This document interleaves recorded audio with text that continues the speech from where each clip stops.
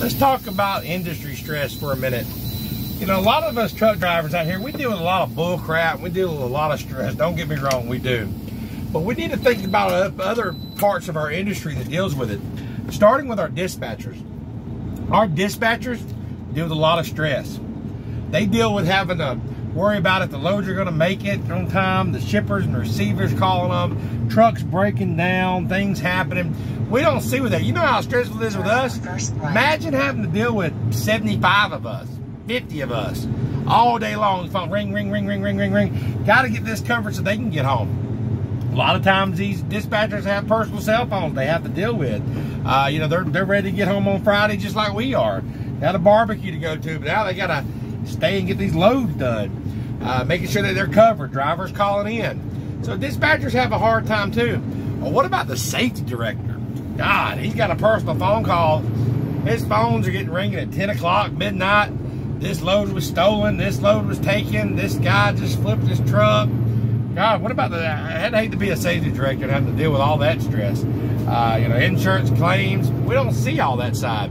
Uh, then you got the uh, operations room, you know, the, the where the drivers are arguing about this load not being covered, or they don't want to take this load, or or your backload people. You got you got people trying to figure out how this person's gonna get here, and this person's gonna get back from there, and, and drivers like I don't want that load, and why ain't you got me loads yet? And it's it's Fourth of July, and I'm stuck out here, and they're they're all upset, and they're wanting to get home, and and a good backload person is gonna be dealing with the stress of that. So there's a lot of stress in this industry, whether it's uh, you know the owner of the company. Uh, you know, first the president all the way down the vice president. Know, how we're gonna get this covered? Is this gonna be covered? Or, or you're dealing with, like you said, in operations of uh, the fuel, or is this being cost, or is the shop doing this wrong, or are we losing money over here? Is trucks getting moved, not getting moved? There's a lot of stress in this industry. So what I'm saying is, drivers, if you can take a moment and can just take consideration that your dispatchers and your other people that work for you, they go through things too.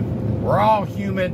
And if we take a little consideration of what our fellow worker might be going through, it would help us deal with this stress of this industry a lot easier than just getting mad at them and like, I don't understand why they're doing this or they don't like me. It might not be they don't like you. They might just be going through it, drivers. So you know what? Have a good attitude just know that you cannot ever plan in trucking. You can plan, but you don't know. Things come up every day. Things happen. Just go and look at it as you know what happens, happens. Do the best you can and be all you can be. That's all you can be, drivers. So y'all stay safe out there and try to keep the stress down the best you can. Talk to you next time.